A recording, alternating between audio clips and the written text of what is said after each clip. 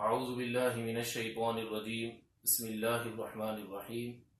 انشاءاللہ آج ہم صلاة التسبیح کی نماز کی ادائیگی کا عملی طریقہ سنیں گے بھی اور دیکھیں گے بھی۔ سب سے پہلے ہماری یہ نیت ہوتی ہے کہ ہم صلاة التسبیح کی نماز کی ادائیگی کرتے ہیں، جو کہ ایک نفل نماز ہے اور چار رکعت نماز نفل کی نماز کی ادائیگی کی نیت کی جاتی ہے۔ ہم نے سب سے پہلے اللہ اکبر کہا اور اللہ اکبر کہہ کر جو ہے وہ ہم نے ہاتھوں کو باندھ لیا۔ ہاتھ باندھتے ہی ہم نے سنا پڑھنی ہے، جو کہ ہم شروع میں ہر نماز میں پڑھتے ہیں۔ سنا سبحانک اللہم و بحمدک و تبارک اسمک و تعالی جدک ولا الہ غیرک۔ پھر سنا ختم ہوتے ہی پندرہ مرتبہ یہ تصویحات پڑھنی ہے۔ سبحان اللہ والحمد للہ ولا الہ الا اللہ واللہ اکبر۔ پندرہ مرتبہ یہ تصویحات پڑھنی ہے، جیسے ہی یہ ختم ہوگی، ہم نے قرآن شروع کر دینی ہے۔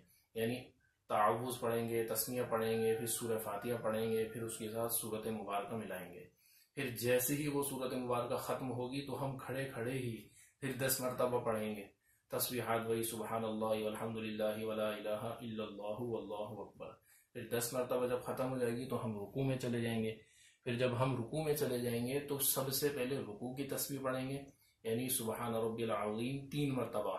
پھر اس کے بعد ختم ہوتے ہی رکوع کی ہی حالت میں ہم دس مرتبہ پھر وہی صلاة التسبیح کی تسبیح کو دہرائیں گے، سبحان اللہ والحمد للہ ولا الہ الا اللہ واللہ اکبر۔ ٹھیک ہے جی؟ جب دس مرتبہ ہو جائے گی تو پھر ہم کھڑے ہو جائیں گے یعنی قوم میں آ گئے۔ سمیع اللہ علیہ حمیدہ۔ پھر ہم نے دس مرتبہ یہی تسبیحات پڑھنی ہے سبحان اللہ والحمد للہ ولا الہ الا اللہ اکبر۔ پھر ہم سیدھے سجدے میں چلے جائیں گے۔ سجدے میں جاتے ہی پہلے سجدے کی تسبیحات پڑھیں گے پھر صلاة التسبیح کی تصویر پڑھیں گے۔ پھر ہم جلسے میں آ جائیں گے یعنی دو سجدوں کے درمیان۔ پھر ہم دس مرتبہ یہ تصویر پڑھیں گے، پھر ہم سجدے میں چلے جائیں گے۔ پہلے سجدے کی تصویر پڑھیں گے، پھر اس کے بعد جو ہے وہ ہم صلاة التسبیح کی تصویحات پڑھیں گے۔ پھر اسی طرح ہم فوراً کھڑے ہو جائیں گے دوسری رکعت کے لیے۔ جیسے ہی ہم آئیں گے تو سب سے پہلے جو ہے وہ ہم نے پندرہ مرتبہ تصویحات پڑھنی ہے اب سنا نہیں پڑھنی اب پندرہ مرتبہ تصویحات پڑھنے کے بعد پھر وہی ہم نے تلاوت کرنی ہے، پھر وہی صورت مبارکہ ملانی ہے پھر دس مرتبہ پڑھنی ہے، پھر ہم رکوع میں جائیں گے، پھر رکوع کی تصویحات پھر دس مرتبہ، پھر اسی طرح معمول کے مطابق دو رکعتیں ہماری ہو گئیں۔ جب دوسری رکعت میں ہم جب آئیں گے، ہم پورا تشاہد پڑھیں گے، پوری درود ابراہیم پڑھیں گے، آگے تک پڑھیں گے یعنی ربی جو علمی تک۔ پھر ہم کھڑے ہو جائیں گے۔ پھر جب ہم تیسری رکعت کے لیے کھڑے ہوں گے، تو سب سے پہلے ہم سنا پڑھیں گے۔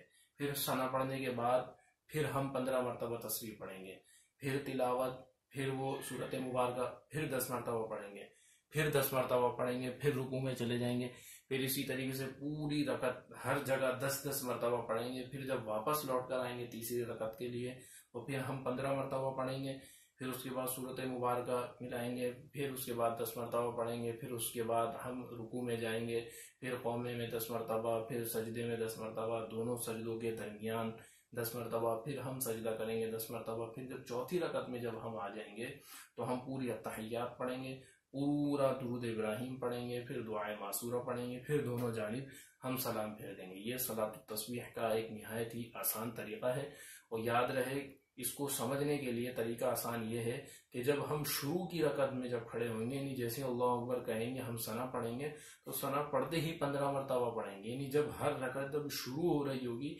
اس جگہ ہم نے پندرہ مرتبہ تصویحات پڑھنی ہے اور باقی ہر جگہ دس دس مرتبہ پڑھنی ہے یعنی جب دوسری رکعت کے لیے ہم آگے کھڑے ہوئیں گے، جب پندرہ مرتبہ پڑھیں گے، پھر جب تیسری رکعت کے لیے کھڑے ہوئیں گے، جب پندرہ مرتبہ پڑھیں گے، پھر جب چوتھی رکعت کے لیے ہم کھڑے ہو کر آئیں گے سیدھے، پھر ہم پندرہ مرتبہ پڑھیں گے۔ اور باقی ہر جگہ دس دس دس مرتبہ پڑھیں گے پوری ٹوٹل چار رکعت نماز کی ادائیگی ہوتی ہے اور پوری تقریباً جو ہے وہ پوری تین سو مرتبہ جو ہے یہ تصویحات پڑھی جاتی ہے۔ سبحان اللہ والحمد للہ ولا الہ الا اللہ واللہ اکبر۔